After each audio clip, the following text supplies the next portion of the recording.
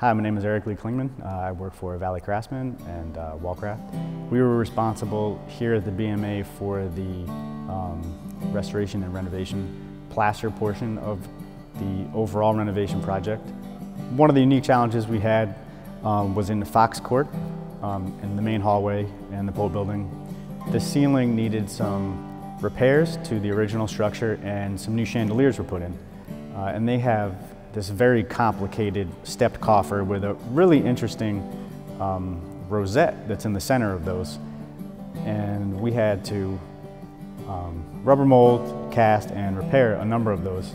One of the technical challenges we had um, was in some of the American painting galleries where we removed huge portions of the ceiling to accommodate fire suppression and um, new electrical and piping.